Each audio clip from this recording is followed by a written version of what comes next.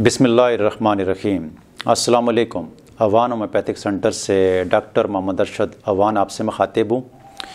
आजकल कॉन्स्टिपेशन का बहुत बड़ा मसला है, यानी लोगों को कब्ज़ का बहुत बड़ा मसला है। हमारे व्यूअर्स बार बार कब्ज़ के हवाले से डिमांड करते हैं तो कब्ज़ सबसे पहले हम देखते हैं कि कौन लोगों में ज़्यादा पाई जाती है।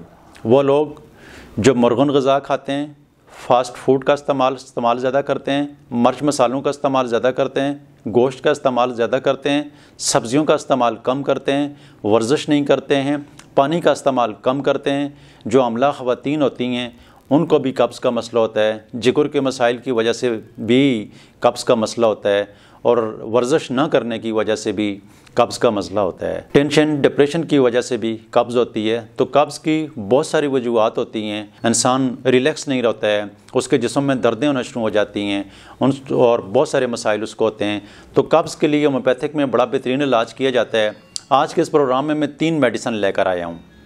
अगर पहले तो आप सिम्टम्स के मुताबिक अगर ये मेडिसन इस्तेमाल करेंगे तो अल्लाह ताला के फजल से आपकी कब्ज़ का मसला जो है, एक ही सिंगल मेडिसन भी, से भी हल हो जाएगा। तो सबसे पहली मेडिसन जो है, ये एलोमिना 200 में है। इसके इसके मरीज़ की पेट हल्की फुल्की खुश्की होती है, पानी का इस्तेमाल कम करता है, इसको स्टूल की अजती नहीं होती है, और गांठदार नुमा इसका स्टूल होता है, और अक्सर इसका स्टूल जो होता है, बड़ी आंद में वापस चला जाता है, और काफ़ी देर तक जो है ये वाशरूम में बैठा रहता है। तो ऐसे मरीज़ के लिए एलोमीना जो है, ये 200 में इस्तेमाल करनी है। अल्लाह ताला के फजल से बहुत सारे मरीज़ इसके इस्तेमाल से ठीक हो जाते हैं। ये दिन में दिन में एक ही दफ़ा इस्तेमाल करनी है। आप रेगुलर सात दिन तक इसको इस्तेमाल करें। अल्लाह ताला के फजल से आपकी कब्ज़ हमेशा के लिए भी ठीक हो सकती है। अगर उसके बावजूद आपको अगर कब्ज़ रहती है तो हर तीन दिन के बाद इसकी रिपीटेशन आप कर लिया करें। अगर आपने फ़र्ज़ करें यकम को ली है तो फिर आप इसको चार तारीख को ले लें, फिर सात तारीख को ले लें, फिर दस तारीख को ले लें। इसी तरह हर दो तीन दिन के बाद इसकी रिपीटेशन कर लिया करें। आपकी जो कॉन्स्टिपेशन होगी, वह आहिस्ता आहिस्ता मुस्तकिल तौर पर ठीक हो जाएगी। कब्ज़ के हवाले से ये दूसरी मेडिसन ब्रायोनिया है। ब्रायोनिया का ऐसा पेशेंट होता है कि जिसको, जिसकी आंतों के अंदर खुश्की होती है और उस खुश्की की वजह से कब्ज़ होती है। पानी का इस्तेमाल ये मरीज़ ज़्यादा करता है, लेकिन उसके बावजूद इसकी खुश्की नहीं ख़त्म होती है। तो अगर खुश्की की कफ़ियत होती है आपकी आंतें खुश्क होती हैं, आपका गला खुश्क होता है, आपका मुँह का जायका कड़वा होता है। तो ब्रायोनियाँ 200 में आपने लेनी है।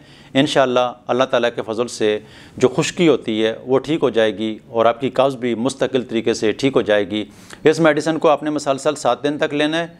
अगर आपकी मुस्तकिल कब्ज़ ठीक हो जाती है, फिर दोबारा लेने की ज़रूरत नहीं पड़ती है। लेकिन उसके बावजूद भी अगर आपको कभी कभार कब्ज़ हो जाती है तो हर दो तीन दिन के बाद इसकी रिपीटिशन आप कर सकते हैं। कब्ज़ के लिए तीसरी मेडिसन जो है ये ओपियम ओपियम का पेशेंट ऐसा होता है कि उसका पेट फूला हुआ होता है, उसके, उसको गनुदगी तारी होती है, उसको भूख लगती है, लेकिन उसके अंदर खाना खाने की ख्वाहिश नहीं होती है। इसको स्टूल करने की हजत ही नहीं होती है। पूरा पूरा हफ़्ता अगर स्टूल नहीं करता है तो भी इसको स्टूल करने की हजत ही नहीं होती है। तो ऐसे मरीज़ के लिए ओपियम आपने 200 लेनी है, लेकर इसका इस्तेमाल करना है। ये भी आपने 200 ताकत में लेनी है, एक हफ़्ता आपने मसलसल इस्तेमाल करनी है, दिन में एक ही दफ़ा इस्तेमाल करनी है, दो दो कतरे थोड़े से पानी में डालकर इस्तेमाल करनी है। तो अल्लाह ताला के फजल से आपको अगर हफ़्ता हफ़्ता और कब्ज़ ख़त्म ही नहीं होती है या इसकी अजत ही नहीं होती है तो ये ओपियम 200 में आपने लेनी है। अल्लाह ताला के फजल से आपकी कब्ज़ जो है, एक हफ़्ते की मेडिसिन से अक्सर मरीज़ ठीक हो जाते हैं, लेकिन अगर ठीक नहीं हो, फिर भी आपको ये मसला लगा हुआ है तो ये मेडिसन जो है आप हर दो तीन दिन के बाद इस्तेमाल कर सकते हैं। अगर ये तीन मेडिसन के हवाले से आपको समझ नहीं आई है कि इसका इस्तेमाल आपने कैसे करना है, कब करना है, कौन सी मेडिसन आपके लिए ठीक है या कौन सी ठीक नहीं है, आप कंफ्यूज हैं। तो ऐसी सूरत में आप इस तरह करें कि एलोमिना 200 में, ब्रायोनिया 200 में और ओपियम 200 में। ये तीनों मेडिसन आप ले लें दो कतरे एलोमिना के, दो कतरे ब्रायोनिया के, दो कतरे ओपियम के। थोड़े से पानी में डालकर एक हफ़्ता आपने रोज़ाना सुबह उठते ही सात दिन तक इनको इस्तेमाल करना है। और सात दिन में अगर आप मुस्तकिल ठीक हो गए तो आपने इन दवाइयों को बंद कर देना है। लेकिन उसके बाद भी अगर आपको कब्ज़ जारी रहती है, कब्ज़ रहती है तो फिर आप हर दो तीन दिन के बाद इन तीनों मेडिसिन को एक जगह पर यकजा कर दें या तीनों में से हर दो तीन दिन के बाद दो दो कतरे डालकर इकट्ठे एक ही जगह पर डाल सकते हैं। इन लजीज़ आपका कब्ज़ का मसला इन तीन मेडिसिन से हर मरीज़ का ख्वा कोई भी हो, उसके अंदर कोई भी सिम्टम्स हो तो ये तीनों मेडिसिन इकट्ठी ले लें और ये सात दिन मसलसल लें।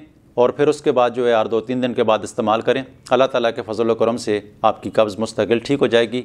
अपनी दुआ में याद रखना। प्रोग्राम सुनने का बहुत शुक्रिया। अल्लाह हाफिज़।